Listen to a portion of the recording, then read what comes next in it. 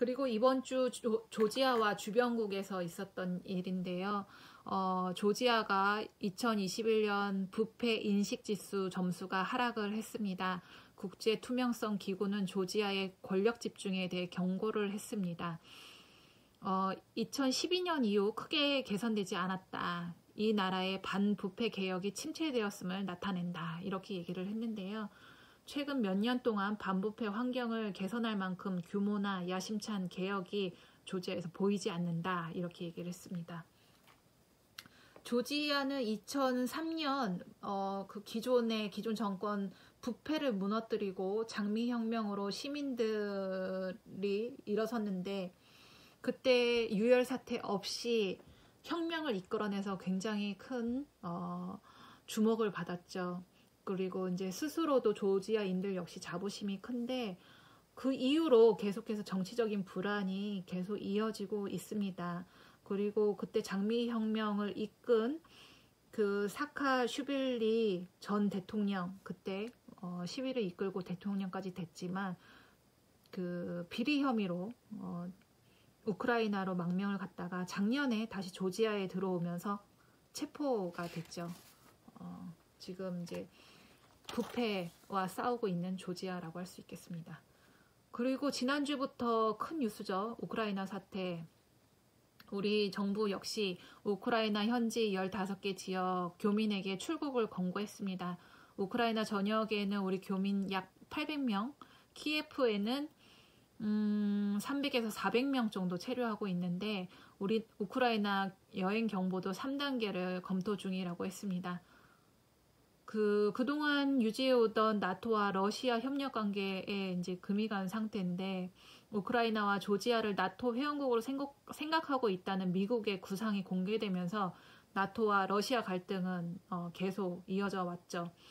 그러다가 최근 러시아는 나토의 동진 정책으로 러시아 자국의 안보가 위협받게 됐다 이렇게 판단을 하고 우크라이나 사태 해결 전제 조건으로 미국과 나토가 러시아 안전보장 요구, 요구 사항을 수용해, 수용해달라 이렇게 촉구를 하고 있습니다. 그 내용을 보면 우크라이나 나토 가입을 금지시키고 우크라이나와 동유럽, 코카서스, 중앙아시아에서 나토 군사 활동을 금지해라. 나토가 더는 동쪽으로 움직이지 않는다는 동진 정책에 종료한다는 걸 법적으로 보장해라. 이런 것을 요구하고 있습니다. 러시아 고위 외교관이 우크라이나에 강력한 지원을 표명했습니다. 조지아와 우크라이나 외무장관은 며칠 전 전화 통화를 어, 통화해서 양국의 나토 통합을 막으려는 러시아의 시도가 용납될 수 없다는데 동의했습니다. 그리고 조지아 외무장관은 어려운 상황에 직면한 우크라이나에 대한 강력한 지지를 표명한다 이렇게 강조를 했습니다. 특히 우크라이나와 조지아의 주권과 영토 보전 그리고 유럽과 유럽 대서양의 열망을 포함하여 스스로 미래를 선택할 주권이 있다는 점에서 음, 국제적 파트너 입장을 한다 이렇게 얘기를 했습니다. 러시아가 서구와 군사적 긴장으로 주가 지수와 루블화 가치가 하락하고 있습니다. 주가 지수는 2022년 초 19%까지 하락을 했고 루블화는 달러 대비 가치가 2.5% 하락을 하면서 2020년 말 이후 최저치를 기록했습니다. 어, 러시아 자산 시장은 우크라이나를 둘러싼 러시아와 서구 간의 긴장이 고조되면서 변동성이 커지고 있다. 이렇게 얘기하고 있는데요. 어, 그 서구에서는 우크라이나가 아니, 러시아가 우크라이나 국경 지역에 군대 10만 명을 배치한 것에 대해서 우려를 표명을 했고 이게 침공하는 거 아니냐 이렇게 얘기를 했는데 러시아는 침공 가능성을 거듭 부인을 하고 있습니다. 미국과 영국은 러시아가 우크라이나를 침공할 경우 강력한 경제 제재를 제재를 가할 것이다 이렇게 말하고 있습니다. 그리고 경제 전문가는 러시아의 자산 가치가 추가 하락할 수 있다고 경고했습니다. 2008년 조지아와 러시아 전쟁 당시 러시아 지수는 80%까지 하락한 바 있습니다. 그리고 러시아는 암호화폐 채굴에 있어서 세계 3위 국가인데요. 러시아인들도 암호화폐를 활발하게 거래하고 있다고 알려졌습니다. 그러나 러시아 중앙은행이 암호화폐 채굴과 투자를 금지하겠다. 이런 얘기를 했습니다. 러시아 은행은 현재 다른 정보들도 탈중앙화 화폐인 암호화폐를 제한하고 있으며 암호화폐 체계는 통화 안정성에 위협이 된다고 설명을 했습니다.